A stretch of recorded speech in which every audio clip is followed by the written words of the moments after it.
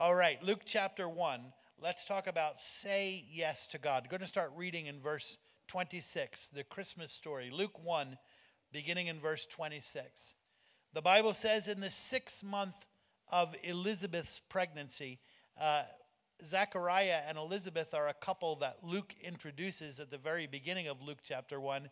Going to talk about them. She was a, a barren, older woman, couldn't have children, and God visited them. And so, in the sixth month of Elizabeth's pregnancy, God sent the angel Gabriel to Nazareth, a town in Galilee, to a virgin pledged to be married to a man named Joseph, a descendant of David. The virgin's name was Mary. The angel went to her and said, Rejoice, you who are highly favored, the Lord is with you. Mary was greatly troubled at his words and wondered what kind of greeting this might be. But the angel said to her, Do not be afraid, Mary. You have found favor with God. You will conceive and give birth to a son, and you are to call him Jesus. He will be great and will be called the Son of the Most High God. The Lord will give him the throne of his father David, and he will reign over Jacob's descendants forever. His kingdom will never end. How will this be? Mary asked the angel since I am a virgin. The angel answered, The Holy Spirit will come on you, and the power of the Most High will overshadow you. So the Holy One to be born will be called the Son of God. Even Elizabeth, your relative, is going to have a child in her old age, and she who is said to be unable to conceive is in her sixth month, for no word from God will ever fail. I am the Lord's servant. Mary answered, May your word to me be fulfilled, just as you've said. Then the angel left her. Let's pray and invite the Holy Spirit to minister to us. Lord, thank you for this morning. Thank you for the people that you love so much. Thank you for your presence with us and for your powerful word. Father, I pray that we would encounter you personally as we receive your word. If your heart agrees with that, would you say amen and amen? If I could have just one wish for you this Christmas, it would be that you would say yes to God. I wish that you would follow Mary's example and say yes to God completely. Say yes to God in faith, trusting that His way is best. Say yes to God, trusting that He is more than able to do just what he has said. Say yes to God without hesitation. Say yes to God without reservation. Say yes to God without any negotiations. Say yes to God without qualification, without objections. This Christmas season, just say yes to God. Right now, we're looking at stories of faith together. We're looking at some of the heroes of faith in the Bible and considering the defining moments of faith in their lives. What can we learn from them? What encouragement can we draw from them? You see, the Bible says that all of their stories were written for our benefit.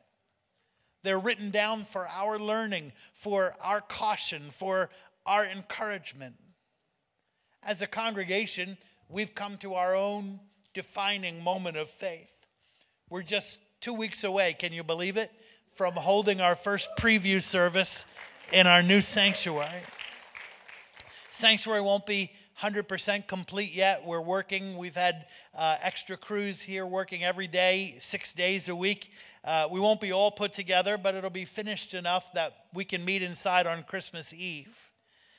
But right now, we have an urgent need for funds to finish the building. We need about $250,000 in cash to finish the sanctuary level. Need a little bit more to finish the lower level, but our goal right now is to finish the sanctuary, get a temporary certificate of occupancy, and start using it, and then we'll keep on working on the lower level. So we're asking you all to stand with us in faith right now. When we need faith, the place to turn is the Bible. Faith comes from hearing, and hearing from the Word of God.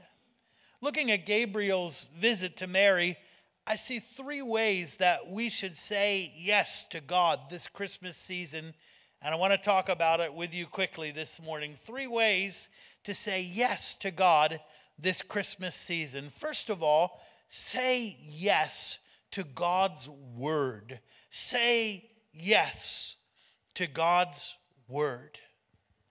At the most unexpected time, God sent his word to the most unexpected person in the most unexpected place.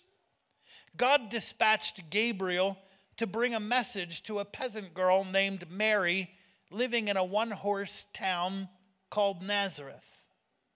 Now, Luke 1 tells us that six months earlier, Gabriel visited a priest named Zechariah while Zechariah was offering incense in the holy place in the temple. Now, that made sense.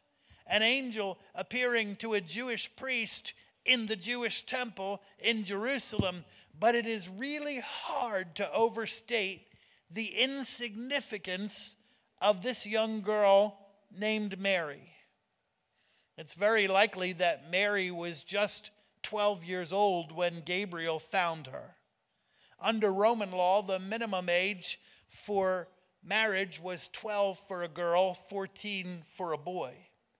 Augustus Caesar, who was the Caesar at the time, established the age of 10 as the minimum age for betrothal.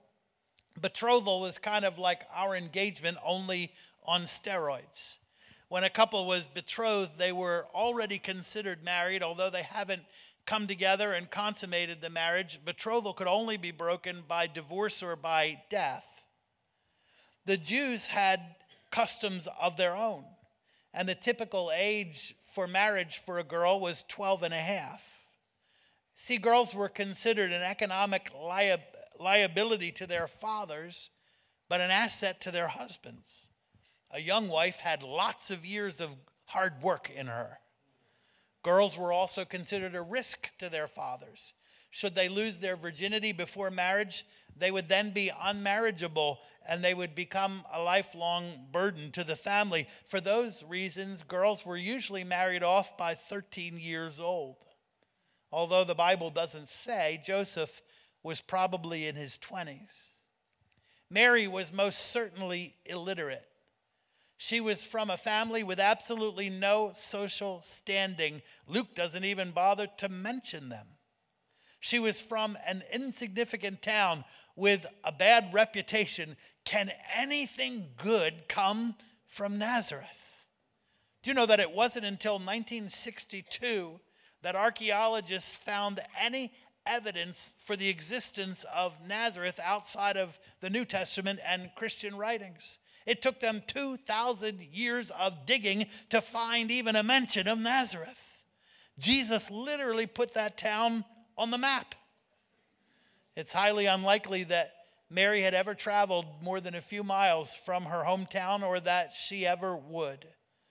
Like billions of other young girls, Mary was destined to a life of scarcity and hard work and inconsequence, and then she was destined to die anonymously without making any kind of mark in the world until a single word from heaven changed everything. Rejoice, highly favored one the distinguished Catholic theologian Raymond Brown has written that Hail Mary, full of grace, is a terrible translation of Luke's words in Luke chapter 1. He writes that it has led to the conclusion that there was something resident inside of Mary already that brought Gabriel to her, but that is not at all Luke's point. Luke's point is that to this young, simple peasant girl who had absolutely nothing of earthly significance to her credit, God sent his word of divine favor, and that word changed everything. And here's what Luke especially wants us to see Mary's reception of the word. Look at how Mary reflected on the word. You know, the angel Gabriel appears three times in Scripture. The first time he appeared to Daniel in Babylon. Daniel was an old man. He was a biblical scholar. He was a prophet from his teen years. He had been an intercessor. He had been used by God in supernatural ways. He had witnessed firsthand miracles. But when Daniel saw Gabriel, he was scared, speechless. The second time Gabriel appeared, it was to elderly Zechariah in the temple. As a priest, Zechariah was also a biblical scholar. He spent his entire life studying the Old Testament scriptures, the encounters between God and men and angels and men. He, he, spent his entire career working side by side with priests who went in and out of the holy place and even the Holy of Holies. But when Zechariah saw Gabriel, he was scared speechless. The third time Gabriel appeared, it was to a 12 year old peasant girl named Mary. The only scripture she knew were the ones that she had been taught to recite. She had never studied the rabbinic commentaries on the angelic visitations of the Old Testament. She barely had any life experiences, let alone spiritual experiences. And yet, little Mary seems completely unfazed by Gabriel's presence. Instead, she is fascinated by his words. Mary was greatly troubled, not at the sight of him. Mary was greatly troubled, not at his glowing appearance. Mary was greatly troubled, not by this intrusion. She was greatly troubled at his words. And she pondered what his greeting meant.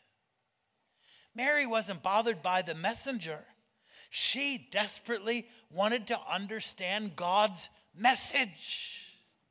Verse 29 says she pondered the meaning of Gabriel's greeting. It's in a continuous sense. She kept on pondering the meaning. She kept on reflecting on the implications of God's word to her. She kept on reflecting on what was being promised to her and also what was being asked of her. She kept thinking about the cost and the consequences, the risks and the rewards. She contemplated both the grace that was being extended to her and also the gravity of becoming one of God's instruments. Look at how Mary reflected on the word and look at how she responded to the word. Mary carefully contemplated God's word and then she said yes to the whole thing her reply to God was, Let it all happen to me according to your word. Everything your word promises, everything your word encompasses, everything it implies, everything it requires of me, everything it obligates me to do, everything your word brings to me, whether it be suffering or blessing or a bit of both, God, I say yes to all of it. I agree. I give my consent. I submit to it. I entrust myself to your word. Bring it on. Let it be unto me according to your word. At the very beginning of the gospel, Luke is playing with us. He's comparing old, experienced old Zechariah uh, with inexperienced little Mary. And he's sending an implicit message to us don't be like Zechariah, be like Mary. Mary is a model disciple of Jesus. She reflected on God's word and she responded with a resounding yes.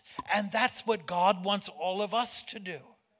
If I could have one wish for you this Christmas. It would be that God would come and interrupt your ordinary, quiet, orderly life by sending His word of divine favor to you, and that you would respond with a resounding yes. Say yes to His word.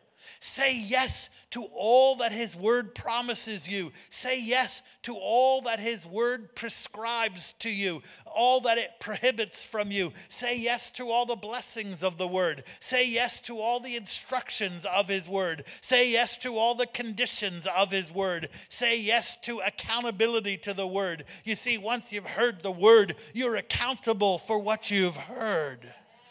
Say yes to the affirmations and the confrontations of his word. You see, Gabriel's message from God contained both affirmation and confrontation. He spoke favor, favor, favor, grace, grace, grace over a poor peasant girl. He affirmed her worth in God's eyes. He affirmed her significance to God. He affirmed that her life had meaning and purpose, and yet he also addressed mankind's need for salvation. He addressed our sin condition and our need for a Savior. You will call him Jesus. That means God saves for he shall save his people from their sins. You know, that need for salvation, it extended even to Mary. In her song, the Magnificat, Mary said, My spirit rejoices in God, my Savior. Say yes to both the affirmation and the confrontation of God's words. You are infinitely valuable to God. Your life has meaning and purpose and significance, but you also have a spiritual need that's common to everyone, even to Mary. Say yes to the authority of His Word. Say yes to the risks and the rewards of His Word. Say yes to the cost on earth of obeying His Word. Say yes to whatever His Word brings you. As you ponder the meaning of the Christmas story, my prayer is that your heart will say, like Mary, let it all happen to me according to your word three ways to say yes to God this Christmas season. Say yes to God's word. Second, say yes to God's unusual ways. Say yes to God's unusual ways. In the Christmas story, we have yet another reminder that God works in mysterious ways. In Isaiah, God says, As the heavens are high above the earth, so my ways are higher than your ways, and my thoughts are higher than your thoughts. God is unusual in the people he chooses to use. Don't believe me? Just look around. Or just look forward, get the same effect.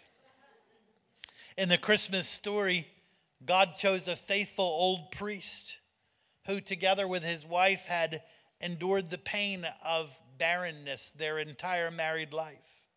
To the Jewish people, barrenness was seen as a sign of God's disapproval. It made Zechariah and Elizabeth suspect what sin had they committed, what was wrong in their family that they had earned such disfavor from God. Standing in front of the altar of incense for the one and only time in his life, Zechariah whispered one last prayer for a child Please, God. And God chose a faithful young peasant girl with few prospects.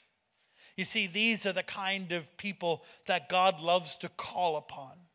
He loves to call on people with immovable mountains in their lives, people with problems, people in pain, people caught in the rhythm of ordinary life who have resigned themselves to the status quo. God loves to turn zeros into heroes. When the Corinthians were getting a little too big for their britches, Paul wrote to them and said, What were you before God called you? Not many of you were wealthy. Not many of you were influential. Not many of you were gifted. No, God chose the foolish, weak, lowly, and despised things of the world. How's that for affirming language? Beloved, listen, never get too big for your britches. If you humble yourself in the sight of the Lord, it will result in exaltation. But if God has to humble you, it will result in humiliation. God is unusual in the people he chooses to use, and he's unusual in the ways that he works. Gabriel announces to Mary that she's going to conceive and give birth to a son called Jesus. But there is one insurmountable obstacle Mary is a virgin. Three times Luke reiterates that she's a virgin. She has never been with a man. What happens next is amazing. Mary asks a question that's almost identical to the question that Zechariah asked Gabriel in the temple. But how can this be? Zechariah's question drew indignation and a swift rebuke from Gabriel and the punishment of temporary silence. But Mary's almost identical question drew a gracious explanation and a favorable, joyful sign of Elizabeth's pregnancy. Well, what was the difference between Zechariah and Mary? The difference was the faith in their heart. Zechariah, the priest, asked a question of disbelief. He was perfectly positioned of all people to believe, yet he didn't believe. The angel said, You'll be silent because you didn't believe. Mary, the Jewish peasant girl, asked a question of belief. She knew practically nothing about anything, and yet she believed. Under the inspiration of the Holy Spirit, Elizabeth affirms her and says, Blessed is she who believed that the Lord would fulfill his promise. Beloved, can I tell you this morning, it's possible for two people to perform practically the identical acts of worship and yet have two very different outcomes. One receives a blessing and the other silence. Two people can sing the same worship song, and one gets filled up to overflowing with the joy of the Lord, and the other remains empty. Two people can give offerings and one gets blessed and the other continues to struggle. Two people can read the word and pray and one gets strengthened and encouraged and the other remains anxious and depressed. Two people can fast and one sees breakthrough and the other doesn't. What's the difference? It's what's in the heart. Cain and Abel both brought offerings consistent with their vocations. But God accepted Abel's offering and he rejected Cain's. Why? Because of what was in the heart. Don't be a Zechariah. Zechariah and Elizabeth, they were faithful to their office. They had, Luke says, they had meticulously followed all of God's commandments and decrees. They were dutiful, but they weren't fruitful. Somewhere along the way, Zechariah had lost the joyfulness of childlike trust in God. Somewhere along the way, in all of his learning and in all of his studying, he had lost the simplicity of faith. Don't be like that. Don't be like Zechariah. Don't come to church week after week after week and be perfectly positioned to believe, yet fail to believe. Don't serve God from a duty paradigm. Live in a faith paradigm. In his disbelief, Zechariah was incredulous. How can this be? But in her faith, Mary was curious. How will this be? Gabriel explains to Mary the details of the virgin birth. The Holy Spirit will come upon you the power of the Most High will overshadow you. Ancient religions and ancient mythologies and legends are rife with lewd tales of divine beings coming and having relations with human beings. I want you to know that they have absolutely nothing to do with the Christian doctrine of the virgin birth of Christ. God did not come in a human like form and have relations with Mary. Instead, by some holy operation that is beyond our comprehension, God's power moved inside of Mary's body and enabled her to conceive. we are not able to say what happened biologically, only that the result was a child unlike any other child who has ever been born. A child whose father was not a man, but God Himself, and whose mother was a woman named Mary. A child who was holy, the Son of God, a child who was fully human, and yet in whose body all the fullness of the Godhead dwelt. We're not able to say what happened inside of Mary's body, but divinity mingled with humanity, and Mary conceived and gave birth to the one and only God man, Jesus Christ. When Mary said, Let it all happen to me according to your word, I want you to catch this. She was saying yes to something that has never been seen in the world, either before or since. She said yes to something that defies everything we know about biology and human reproduction. She said yes to something that defied thousands of years of human experience. She said yes to something that outwardly defied everything her Jewish people held dear related to morality and ethics.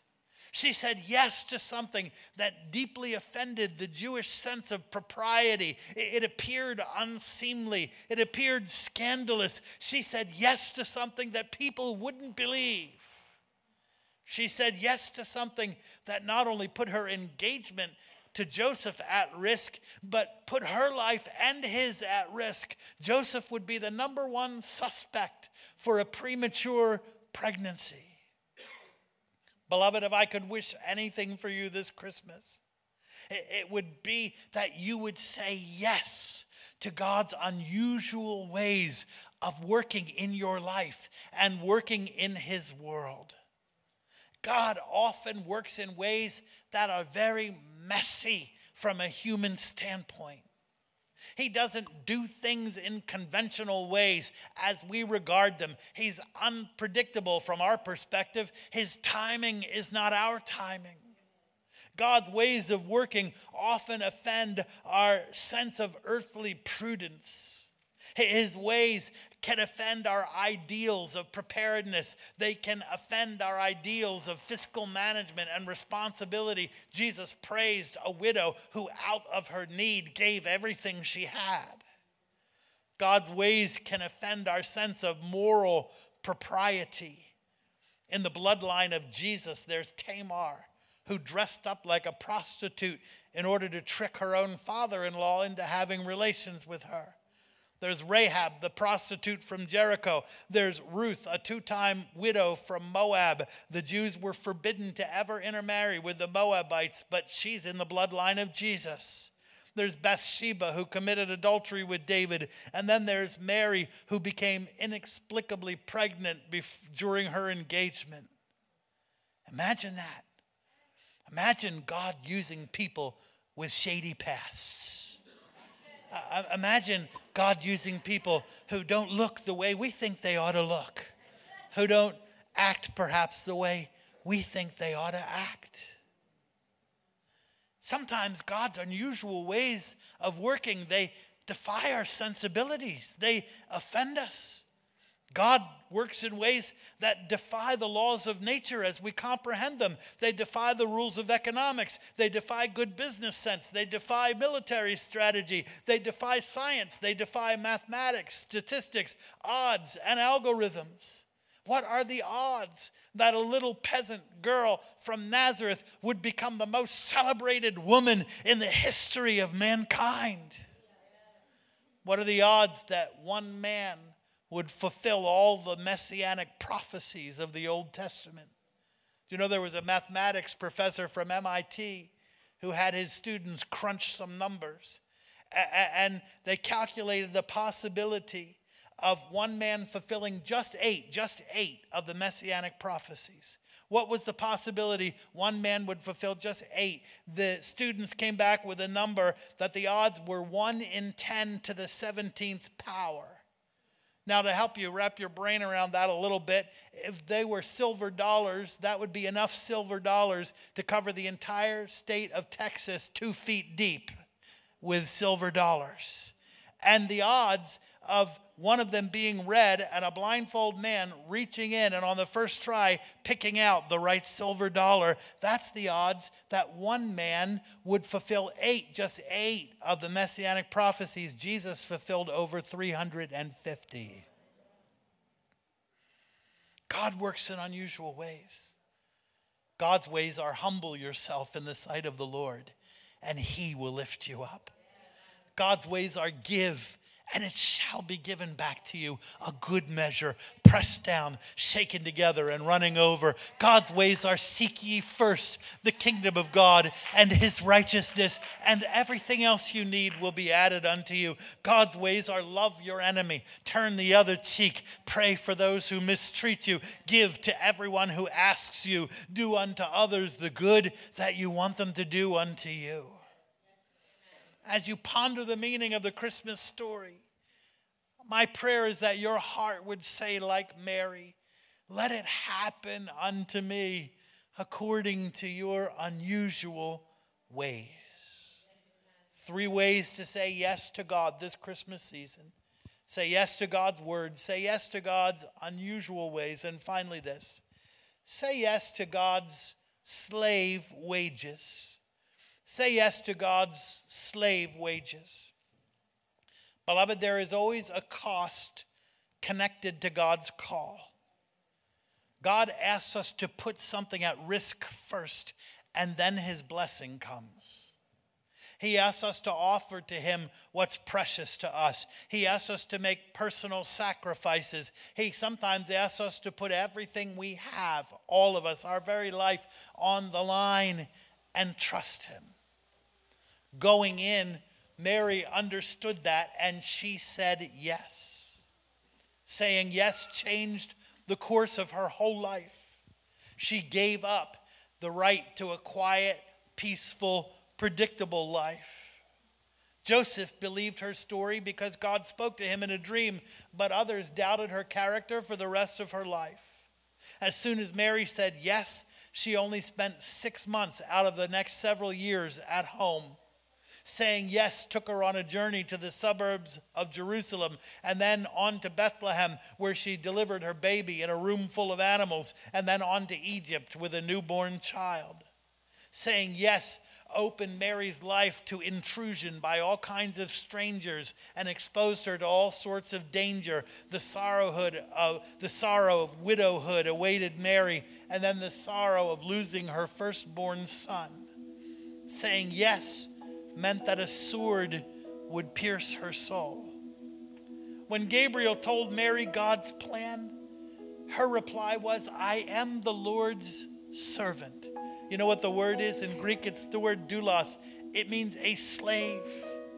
I am the Lord's slave. I belong to him.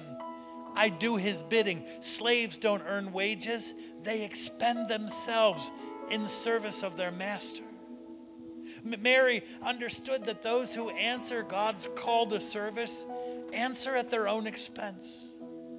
Doulos is the same word that Peter, Paul, and John used to describe themselves, their service to Christ. James, her other son, through her husband Joseph, used that word to describe himself, a doulos of Jesus Christ, serving him for life at great personal cost. What gave Mary the courage to say yes? I want to share three things with you and then we're done. What gave Mary the courage to say yes? Three things. First of all, God's grace surrounded all of her questions and fears. Never noticed it before. Isn't it amazing the Word of God? No matter how many times you read a passage of Scripture, when you read it again, God speaks something new. You see something you never saw before. I never saw this before. But in verse 29 of Luke 1, it says Mary was deeply troubled. She had questions, she had thoughts, she had concerns, she was pondering. But, but all of her questions, all of her concerns are completely surrounded by God's grace. In verse 28, Gabriel said, Hail Mary, rejoice Mary, you have found favor with God, grace with God. And then in 29 are her concerns, her fears, her doubts. But then in verse 30, he says, You are you found favor with God's sight. See, her, her, her, fears, her doubts, her questions, they're in the middle, and all around them is the word of God's grace, grace, grace, grace. And God's just like that with you and with me. We have questions, we have doubts, we have concerns, we don't understand. God, we don't know how things are going to work out, but surrounding us is God's word grace, grace, grace, favor, favor, favor around you. What gave Mary the courage to say yes? God's grace surrounded her. Second, God's empowering presence was with her. God's, message, uh, God's message to Mary was, The Lord is with you. It's the same word that God spoke to Isaac in a season of famine Stay here, Isaac, and I will be with you. And Isaac sowed seed and reaped a hundredfold harvest. It's the same word God spoke to Jacob Go home and face your brother Esau, Jacob, and I will be with you. It's the word God spoke to Moses Go tell Pharaoh, let my people go, and I will be with you. God spoke it to Joshua Lead the people into the land, and I will be with you. He spoke it to Gideon Strike down the Midianites, and I will be with you. Mary was no Bible scholar like old Zechariah but she knew enough to know what I will be with you meant. She knew enough to know that it meant things might not be easy, but it's going to turn out on the winning side. That God was up to something much bigger in the world than she could imagine, and that whatever she was lacking for the task at hand, God would surely supply. What gave Mary the courage to say yes? God's grace surrounded her. God's empowering presence was with her. And third and finally, God's revelation was inside of her. Gabriel said, The Holy Spirit will come upon you. Those are the same words that Jesus used in Acts 1 8 when he told the disciples, Go to Jerusalem and wait for the promise of the Father, and you shall receive power when the Holy Spirit comes upon you. Gabriel went on, the power of the Most High will overshadow you. You know, that word overshadow is used in the Old Testament to describe the cloud of God's presence that came down on the tabernacle while Moses was inside praying. And while Moses was praying, that glory cloud came down, and God spoke to Moses face to face as a man speaks with his friend. And God revealed to Moses that another was coming, a Messiah, a prophet like Moses, and that God's people must listen to him or be cut off. That word overshadow is used in the New Testament to describe the cloud that descended on Jesus on the Mount of Transfiguration. And while Peter and James and John were watching, a voice called out from the cloud, This is my son whom I love. Listen to him. We're not told when the moment happened that the cloud of God's presence overshadowed Mary. Perhaps it happened while Gabriel was still speaking to her. We don't know. But what we do know is that same cloud descended on Mary and impregnated her with the Son of God. And she was carrying inside of her a revelation of God. Mary said yes to God's slave wages. She said yes to the cost. She said yes to the personal sacrifice. She said yes to the utter disruption of her life. And in return, she became blessed among all women on earth. But you know, more important is that she received the blessing of salvation that her son purchased on the cross. During his earthly ministry, someone called out to Jesus, Blessed be the mother that gave birth to you and nursed you. And Jesus called back and said, Blessed rather are those who hear the word of God and obey it. You see, Mary's greatest blessing didn't come from giving birth to the Son of God. Her greatest blessing came from believing on the Son of God. And that's my wish. No, that's my prayer for you this Christmas season. That God's grace would come and surround all your questions, all your worries, all your doubts, all your fears that God's empowering presence would abide with you and supply you with everything you need for the task at hand. My prayer is that the Holy Spirit will come upon you and the cloud of His glory will descend on you and give you a revelation of Jesus, an inner witness of Him in your heart. Gabriel left with one final word from God in our old English Bibles, it says nothing is impossible with God. What Luke actually wrote was, No word from God will be impossible. If God has said it, he will surely bring it to pass. If He has promised it, He will surely deliver. If God has called you to it, He will surely empower you to get through it. My prayer for you this Christmas is that you would believe and that you would say yes to God. Say yes to His Word. Say yes to His unusual ways. Say yes to His slave wages. I am the Lord's servant. Let it all happen to me just as He has said.